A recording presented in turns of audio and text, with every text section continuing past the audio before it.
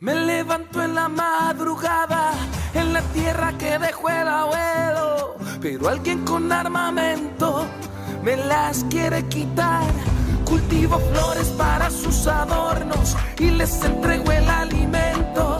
Me devuelven ríos de muertos que en la noche me hacen llorar.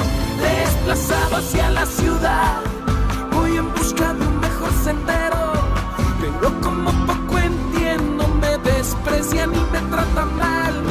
Soy víctima de la ambición, de los que todo quieren tenerlo. Pero con el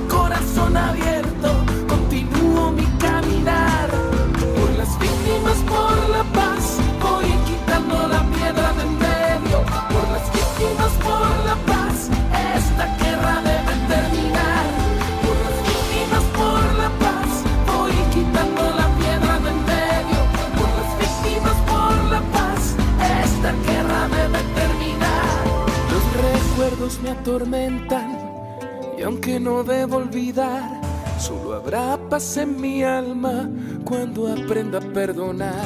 Tengo fe y guardo la esperanza que con la venia de Dios, por el bien de nuestros hijos, llegue la reconciliación. Por las víctimas, por la paz, voy quitando la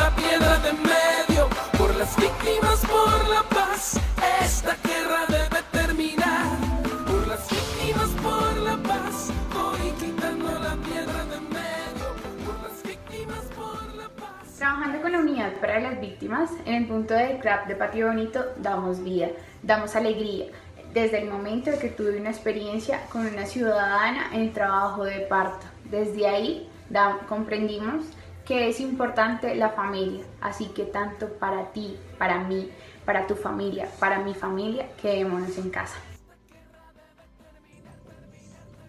Hola, hoy nos aislamos para que cuando nos volvamos a unir no falte nadie. Seguimos trabajando desde casa por las víctimas del conflicto armado. Un saludo, Clapatio Bonito.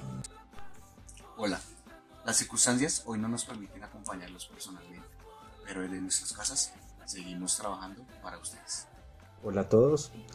En este momento trabajamos desde casa. Esperamos que esto pase pronto y nuevamente estar al servicio de ustedes en el Club de Patio Bonito. Un saludo. Mi nombre es María Paula Cuesta, soy la profesional del Servicio al Ciudadano. Mi vida cambió más o menos hace cinco años cuando ingresé a la unidad para las víctimas y empezamos a trabajar en equipo y mancomunadamente para darnos cuenta que este es un trabajo de vocación, amor, respeto y profesionalismo, donde nuestro trabajo va, de mano con nuestra experiencia para actuar y trabajar para las personas más necesitadas, para que con nuestro conocimiento podamos, podemos brindarle una mano amiga y decirle aquí estamos, podemos continuar pese a todas las adversidades que han tenido que pasar. Estamos en la conmemoración del 9 de abril, Día de las Víctimas.